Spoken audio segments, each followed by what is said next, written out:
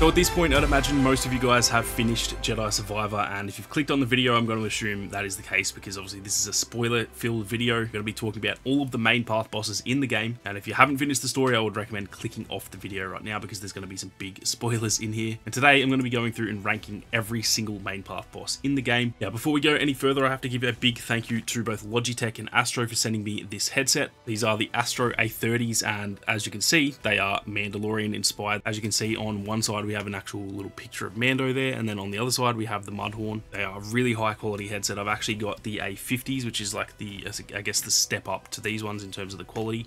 I've been wearing these for, I want to say five years now, so I can't tell you how higher quality Astro headsets are. In my opinion, they are the best headsets on the entire market. And if you're looking for a new headset, I would definitely recommend getting these. So be sure to check out the link in the description. And once again, a big thank you to Logitech and Astro for sending me out the headset. But with that being said, let's get stuck into the video. So as you can see, we have got all of the main path bosses down here. Um, probably going to try and go through these in, I guess, chronological order, or the order that you've you know face them in the game. Uh, just as a refresher, I'll show some gameplay in the background just so you can remember the boss fight that I'm talking about. Now, like I said, I'm ranking these based on essentially how much I enjoyed them, not just how difficult or easy they were. So be sure to keep that in mind. Now, starting off, the first boss fight in the game was the Ninth Sister. Now, I did enjoy this boss fight. It was kind of cool to see her back. I called this like years ago, pretty much that she was not dead. I think most people did. No chance she just fell off a tree and died. So I think it was always, you know, the case that she was going to come back. I do think it was a cool boss fight, and I think it was cool the way that she did like the, the minor eating trick and stuff like that. But for me, it probably goes down into the C tier. It was a cool boss fight. None of the boss fights in this game were bad, in my opinion, so even a D on this list is not even a bad thing. But for me, this is probably one of the, the lower boss fights in the game just because it was early on. It was pretty easy.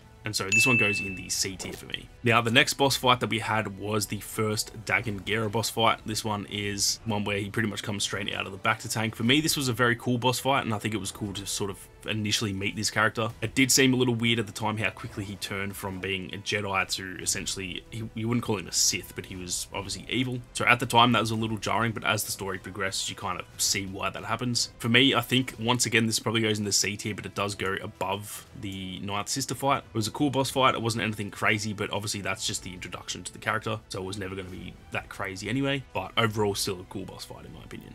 Now, next on the list was actually a random one that I didn't realize was actually a main path boss, but it was. You had to actually beat this boss to get through the story. This one is the Skriton, which is the like scorpion looking things on Jedha. For me, this one goes in the D category, not because it was bad, it was just comparing it to the rest of these, these are all like real characters or I guess people, humanoid type characters. This one being a creature, it was a little bit underwhelming compared to the rest, but it was still fun and it was definitely not easy the first time because you've got to learn how they, you know, how they attack and how they defend. So probably the lowest one on this list for me personally, but I still did enjoy it. That one goes in the D category. Now next up we had the Marauder, which is like one of Rayvis's raiders essentially called I think Taig Louche. This one was the one that was in the like courtyard of Dagan Gera's like I don't know, palace. I don't know what you would really call that place, but this is one that prior to the game, we were all wondering who's this character with a dual wield blue saber. It was kind of weird. It was a cool little reveal. Um, for me, this one actually goes in the B category. It was a very easy boss fight, but I think the the fact that you fight in like the courtyard and some of the attacks that this guy does, where he actually turns his saber off so that it looks like he's going to attack, and then he actually just turns his saber off. I thought it was actually really cool, and just the fact that we see like a double blade blue lightsaber on a villain, I thought that was actually pretty cool. So pretty easy boss fight. It wasn't anything spectacular, but I actually really enjoyed this one, and I think it's one of the cooler like boss arenas in the game as well. Now, the next one was once again one of Rayvis's raiders. I forget the name of this guy. I think it was possibly Dryer Thorn, but I could be wrong there. This is the one that in the trailers we saw him with Cal's saber and it was like the crossguard saber and it was yellow. Obviously, he looked a little bit different in the game and he has his own saber. That was obviously just like a placeholder, but we did see this in the trailer nonetheless. Now, for me, this one probably goes down here. It was cool, but it was a little bit underwhelming because it had been in so many trailers and then it wasn't actually that cool of a boss fight because there was a lot of mystery around this character. And then it turns out he was just another one of the raiders that we had just seen like an hour before in the game. So once again, not a bad boss fight. And the fact that he goes invisible was definitely a little bit of a cool edge to it. But for me, still definitely one of the more like underwhelming at least on this list anyway. Now, next up we had Rayvis, who in my opinion, is probably one of the cooler bosses on this entire list. And for me, I think this one actually goes into the A tier, and depending on how the rest of these fit, he may actually go to the S tier as well. I actually really, really love this boss fight. I think Rayvis is a very cool character and it had a pretty cool ending to this one as well. Not only that, but just the actual arena that you're fighting and kind of the, I guess, stakes of that fight and just the build up to it. It felt like it was building to this fight for quite a while. He has a really cool move set and he was very powerful. I struggled quite a bit with him actually. And so yeah, for me, I think he goes in the A tier and potentially the S tier. We're going to shuffle this around a little bit at the end, but as of right now, he definitely goes in the A tier. Now, next on the list, we actually had the second Dagan Gera boss fight. Now, I just got that wrong. It turns out the Dagan Gera boss fight that I'm about to talk about, the second one was actually before Rayvis, so I've got the order there wrong, but it doesn't really matter. This is the one on the Lucrehulk, and this takes place about half an hour or an hour before you actually get to Rayvis. For me, I think this one goes on the B tier and probably behind the Marauder, actually, surprisingly. It was a cool boss fight, but it wasn't anything spectacular, and I think because he has three the other ones don't feel as you know, exciting as the final one. So for me, it probably goes in the B tier. It was still a cool boss fight, but definitely not on the level of Rayvis, and even probably it's less, I guess, memorable than this Marauder. So it's kind of weird that a main, you know, he's one of the main characters of the game. He's less cool than a Marauder, but that's just how I rank it anyway. Yeah, after that, we did obviously fight Rayvis. Like I said, I got the order there wrong, but then we do fight Dagan Gera once again. And for me, this one definitely goes around the same area as Rayvis. I'm not really sure where to put this, but I think I'm going to put it just behind the Rayvis boss fight. This one was really cool with like the sort of force hallucinations that he has and he